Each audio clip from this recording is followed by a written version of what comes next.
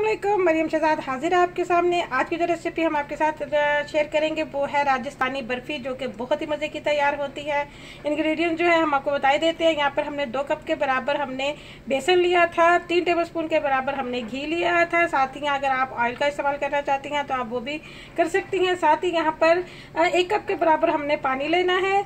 जो है, इसको हमने एक डो तैयार करनी है सख्त सी। साथ ही यहाँ पर इलायची है, ये हम डालेंगे इसमें एक टी के बराबर बादाम है इसमें, चीनी है, एक कप हम इसमें चीनी लेंगे और आधे कप पानी लेके हम इसको शीरा तैयार करेंगे। तो चले सबसे पहले हम ये बेसन की डो तैयार करते हैं। यहाँ पर देखें, हम ये थोड़ा सा पानी डाल के हमने इसको बहुत ज़्यादा पानी नहीं डालना। ये देखिए थोड़ा थोड़ा करके पानी डाल के हम इसको बिल्कुल आटे की तरह तैयार करेंगे। ये देखें अब यहाँ पर देखें डो हमारी तैयार हो गई है। अब हमने इस डो में से थोड़ा सा हमने ये देखें, पीस लेना है और इसको हमने इस तरह हाथ में दबा के ये देखें, इस तरह करके हमने मुठिया तैयार कर लेनी है। ये देखें, जिस तरह हमने ये तैयार की है, इसको हमने फ्राई किया है। इस तरह करने के बाद ये देखें, ये जितनी भी डो है, इसको हमने इसी तरह ही इस तरह करके रखते जाना है इन सब डो को। और उसके बाद हमने ऑयल में इसको फ्राई करना है।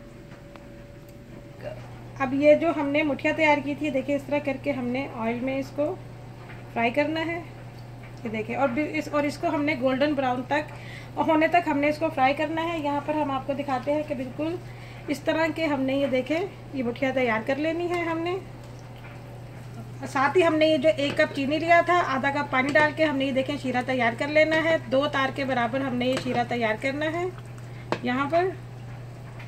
अब ये देखें जब हमने इनको फ्राई कर लिया तो अब हमने इनको ब्रेक करना है। और ये देखें अच्छे तरीके से हमने इनको तोड़ना है।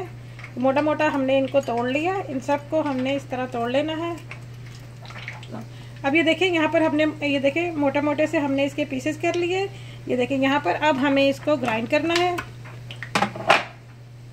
अब यहाँ पर देखिए, हमने इसको बारीक सा हमने पाउडर बना दिया। ये देखिए यहाँ पर पहले हमने बेसन को आ, हमने गूंदा इसकी डो तैयार की इसके बाद हमने इसको फ्राई किया उसके बाद हमने इसके पीसेस करके हमने इसकी ये देखे फाइन सा हमने पाउडर बना लिया। और ये हमें ये देखें हमें बिल्कुल हमें ये इस तरह का पाउडर जो था बेसन हमें चाहिए था। अब हमने ये जो शीरा तैयार किया हुआ है अब हम ये देखें शीरा हम आपको बताते हैं। यहाँ पर ये देखें आपने इस तरह के चेक करना है। शीरा अगर आपका तैयार है अभी इसमें थोड़ी सी देर लगेगी।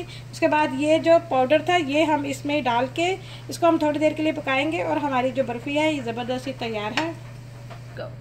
अब ये देखें यहाँ पर शीरा हमारा बिल्कुल तैयार है। ये जो पाउडर हमने बनाया था बेसन का ये देखें ये डालने के बाद अब हम इसको अच्छे तरीके से हिलाएँगे। शीरे में हमने इलायची जो थी हमने डाल चुके हैं। अब ये देखें इसको अच्छे तरीके से हमने मिक्स करना है और फिर हमने इसको जमने के लिए रख देना है। थोड़ा सा हम इसको गाढ़ा करेंगे। अब यहाँ पर हमारी राजस्थानी जो बर्फ़ी थी, ये हमारी बिल्कुल तैयार हो गई है। बहुत जल्दी हमने इसको तैयार कर लिया। टेस्ट में ये बहुत मज़े की है।